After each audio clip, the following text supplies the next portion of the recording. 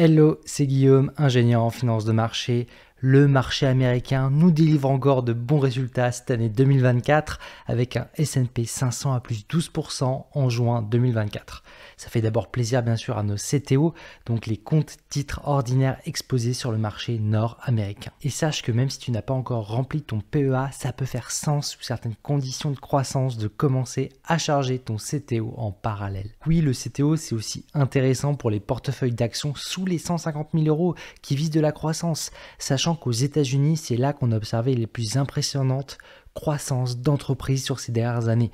Voilà autant de raisons d'être à l'écoute d'opportunités sur le marché américain et sur CTO en 2024. Aujourd'hui, je vais te partager mon analyse d'actions sur trois actions US qui ont encore du potentiel en 2024 avec en numéro 1 une star des semi-conducteurs. Ensuite, on verra une entreprise leader de la musique en ligne et des podcasts. Et enfin, un nouveau géant de la restauration rapide. Ces trois actions CTO ont un potentiel conséquent. Et pour te donner une idée de ma vision sur chacune. Comme d'habitude, je te partagerai mon prix cible à chaque fois. Donc c'est le moment de se placer dans un esprit pragmatique en se préparant comme d'habitude un petit café ou même l'apéro pour certains selon le fuseau horaire. Parti avec l'action Nvidia qui vient de splitter son action, c'est-à-dire de multiplier par 10 le nombre d'actions en circulation. Ainsi, si tu possédais une action Nvidia à 1200 dollars, tu possèdes désormais 10 actions Nvidia à 120 dollars chacune. Ce split, c'est de rendre ces actions plus accessibles ainsi pour les investisseurs particuliers qui souhaitent acheter les actions pleines de Nvidia. Sachant qu'un split d'actions, c'est historiquement porteur pour les entreprises qui affichent de belles croissances au moment du split. Aujourd'hui, Nvidia, après avoir été une des meilleures actions de 2023, c'est une des meilleures actions de l'année 2024 aussi, avec plus 144% déjà depuis le début de l'année. Et c'est tout sauf un hasard, car Jensen Huang, le PDG de Nvidia et ses équipes, ont délivré une belle croissance, et même une croissance des plus importantes de l'histoire du Nasdaq, en devenant aujourd'hui une des plus grandes capitalisations mondiales à presque 3000 milliards de dollars de capitalisation. Aujourd'hui, son succès, Nvidia la doit à son avance technologique d'une part, certes, elle vend des tonnes de GPU, donc des processeurs graphiques, des circuits imprimés dont le but est de réaliser rapidement des calculs. Mais c'est surtout parce que ces produits sont beaucoup, beaucoup plus puissants que l'ancienne génération, ce qui lui permet de bénéficier d'un des plus gros momentum sur ses carrés de commandes. Et ce momentum sur ses bénéfices, Nvidia les doit en grande partie à l'intelligence artificielle, depuis le début de l'année 2023 qui est arrivé dans nos vies tout simplement avec des LLM qui sont utilisés de plus en plus en industrie, dans l'automobile, le cloud, dans les smartphones, dans l'imagerie médicale, le droit, entre autres industries. Et qui dit LLM ou IA dit besoin grandissant en puissance de calcul pour les faire tourner. Et c'est là que Nvidia rafle la mise. Car aujourd'hui, acheter du GPU Nvidia, c'est carrément économiser de l'argent. Et oui, Nvidia, c'est un facteur x100 bien souvent en termes de rentabilité sur le ratio puissance de calcul sur coût de ses puces. Tu comprends maintenant pourquoi les clients de Nvidia économisent de l'argent car même avec des prix élevés, ces clients font une affaire. Nvidia fait même une super affaire à l'occasion. Car tiens-toi bien, dans sa dernière publication, Nvidia continue sa croissance phénoménale avec des bénéfices nets en hausse de 628% sur un an, dont plus 21% sur les trois derniers mois c'est tout simplement une des croissances les plus impressionnantes de l'histoire du Nasdaq à ce niveau de capitalisation. Ainsi, Nvidia pourra atteindre les 65 milliards de bénéfices en 2025 et potentiellement dépasser les 100 milliards dans les scénarios les plus ambitieux en 2026. Alors, si ce scénario se réalise, donc si on anticipe 100 milliards de bénéfices nets, alors Nvidia à 3000 milliards de capitalisation afficherait un facteur de bénéfice seulement de fois 30. Donc oui, c'est très impressionnant, seulement x30 de ratio anticipé, ça serait même les soldes dans un scénario des plus optimistes. On est donc sur un des plus gros potentiels que le Nasdaq ait vu, potentiellement Nvidia sur un horizon moyen à long terme pourrait être la première entreprise à dépasser la barre symbolique des 10 000 milliards de dollars de capitalisation soit encore un fois 3 à moyen terme de potentiel pour l'entreprise Nvidia. Alors oui, il y a des risques, on va en parler. Aujourd'hui, elle a le monopole des GPU les plus rentables. Ça, c'est OK.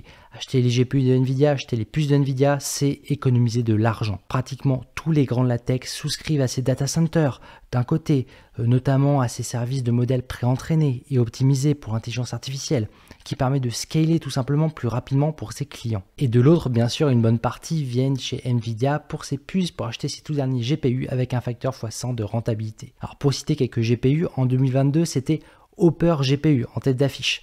Aujourd'hui, en 2024, c'est Blackwell GPU.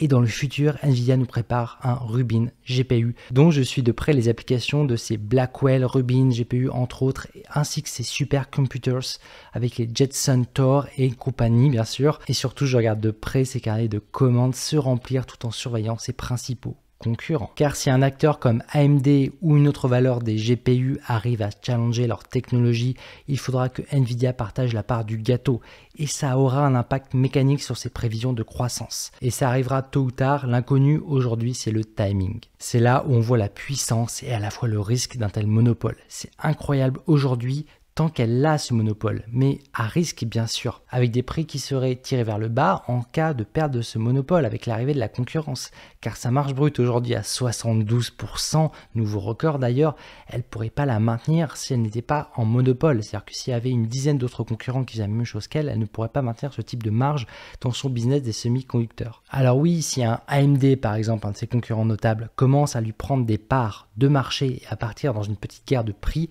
on pourrait voir les marges baisser et ainsi les prévisions qui vont avec sur leurs bénéfices baisser également, ce qui impliquerait un potentiel moins important sur le prix de l'action Nvidia. Après, avec Nvidia, je pense qu'on peut aussi la considérer comme une valeur de croissance long terme pour un portefeuille qui apprécie le goût d'un risque calculé. Aujourd'hui, le risque de l'action Nvidia à 6 mois, il est autour de 55%, c'est élevé. Après, côté potentiel, moi j'anticipe encore à court terme une action Nvidia qui irait au-dessus de 150 dollars d'ici la fin de l'année 2024. Sachant qu'aujourd'hui, après le split, nous sommes à 120 dollars l'action ça nous donnerait un potentiel d'encore plus 29% sur le titre avec un risque de 55%. En somme, pour un portefeuille avec une type de croissance plus agressive, ça s'entend d'avoir du Nvidia sur CTO, malgré son risque élevé, surtout avec un horizon d'investissement à plus de 10 ans bien sûr, armé d'une conviction forte sur ses puces et ses applications. Sachant qu'à long terme, avec les perspectives d'un combo technologique qui allierait robotique d'un côté et ce qu'on appelle l'IA physique, on rentrerait dans un autre monde à long terme avec des applications sur les différents secteurs et industries. Bref, voilà pour Nvidia. Maintenant, on enchaîne avec Spotify, le service d'écoute en streaming de musique et de podcast qui a connu un grand succès ces dernières années et qui affiche déjà plus 104% de performance pour ses actionnaires sur les 12 derniers mois, c'est pas rien, clairement. L'entreprise aujourd'hui est une grande capitalisation qui pèse 60 milliards de dollars du secteur de la technologie et l'industrie des logiciels et services.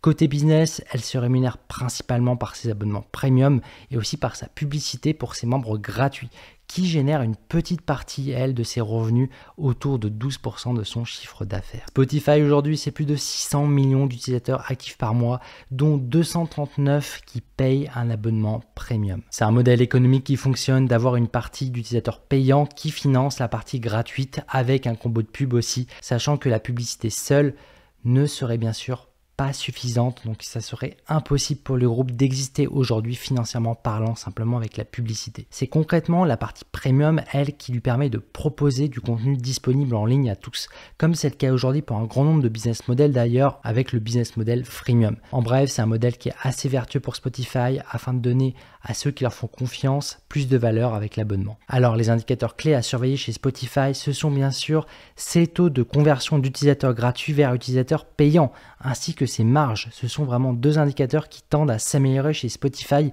grâce à ses stratégies marketing. Elle hisse sa marge brute au-dessus de 27%. Alors ces dernières années, Spotify est passé par des années 2020 quelque peu tumultueuses avec des réductions d'effectifs pour s'adapter à la croissance de son activité et ainsi espérer atteindre son pivot de rentabilité très prochainement grâce à des réductions de coûts d'un côté qui rendent l'entreprise plus efficiente et aussi à la croissance régulière du nombre d'utilisateurs payants. En 2024, Spotify devrait délivrer sa première année avec des bénéfices nets concrets et avec une croissance anticipée qui est même intéressante, dont on peut estimer un potentiel de plus 30% en moyenne de croissance à moyen terme, avec notamment plus 45% de croissance anticipée sur ses bénéfices pour 2025. Alors, en termes d'objectifs de prix cible, sachant que Spotify cote aujourd'hui à 308 dollars l'action, je ciblerai Personnellement, 400 dollars l'action horizon été 2025, ce qui fait quand même un potentiel de 30% à venir. Le tout avec un risque de 50% élevé donc, qu'on ne peut pas ignorer. Donc là encore, plutôt adapté pour des profils qui souhaitent aller chercher davantage de rendement espéré pour un risque, lui aussi, qui n'est pas anodin à ce niveau de 50%. Donc voilà, c'est pas adapté pour tous les portefeuilles non plus. Enfin, on termine avec l'action Chipotle Mexican Grill. Donc tu connais peut-être leur restaurant, donc de restauration rapide, qui servent des burritos, quesadillas, tacos et salades. Alors l'action Chipotle a déjà délivré plus de 53% de croissance quand même sur ces 12 derniers mois. C'est une action que je vais qualifier de business défensif, avec des clients qui affluent dans tous les types de périodes économiques. Pour Chipotle, c'est d'ailleurs des clients qui viennent en nombre, donc de plus en plus nombreux dans ces restaurants en croissance sur son segment d'activité. Stratégie du management de Chipotle, c'est de présenter à la vente des produits de restauration rapide d'origine mexicaine plutôt attractifs financièrement, qui après une vague d'inflation comme on a connu, est vu comme très positive pour ses clients réguliers et aussi attire de nouveaux clients. Sur l'année 2024, je m'attends à qu'elle dépasse les 1,5 milliards de bénéfices en affichant une croissance annuelle de plus 23%. Donc voilà, Chipotle pour moi c'est une entreprise qui est capable de délivrer plus 20% de croissance par an en moyenne à moyen terme, ce qui donne naturellement de l'intérêt pour un portefeuille CTO car c'est une valeur qui est plutôt défensive de la consommation. Donc voilà, intéressante avec sa belle croissance moyenne sur ses bénéfices pour un portefeuille CTO. En termes d'objectifs de prix cible, personnellement, moi je cible 3300 dollars pour la fin de l'année avec un potentiel à 4200 dollars pour horizon moyen terme, disons fin 2026. Donc ce qui fait un potentiel de plus 32% à moyen terme, c'est pas rien. Aussi là encore important de noter qu'entre-temps l'action Chipotle va réaliser un split elle aussi de 1 pour 50 ce 26 juin. Donc mon prix cible après split, lui, il serait de 84 dollars l'action. Le tout avec un risque anticipable de 28%. Donc Chipotle ici paraît un peu plus adapté à un grand nombre de portefeuilles en termes de niveau de risque. Voilà, dis-moi en commentaire si tu as apprécié ce format de vidéo action CTO et lesquels tu aimerais que j'analyse dans une prochaine vidéo. Sachant que je prépare une analyse de plusieurs moyennes capitalisation européennes dont certaines sont d'intérêt pour les portefeuilles PEA, PME dans un contexte de baisse des taux d'intérêt anticipés. Aussi, pour aller plus loin, pour ceux qui veulent profiter de l'été pour se former sur l'investissement et faire ça avec moi avec pragmatisme, j'ai mis à jour ma formation et je compte ajouter de nouveaux modules prochainement. Donc bientôt, je referai une augmentation de tarifs. Donc voilà pour ceux qui sont intéressés par mon programme premium qui inclut la formation avec des mises à jour incluses à vie, avec aussi l'application que j'utilise dans mes vidéos. Elle est utile pour gérer son portefeuille et analyser des actions facilement. Elle est accessible bien sûr sans abonnement avec le programme. Aussi, tu retrouveras dans le programme mes lives privés tous les mois avec l'accès à vie au club privé pour échanger entre nous sur les actions PEA et CTO les plus intéressantes pour nos portefeuilles. Alors, pour en savoir plus et investir sur toi-même en te formant cet été, c'est sur guistam.com. Sur ce, comme d'habitude, restons pragmatiques. Allez, ciao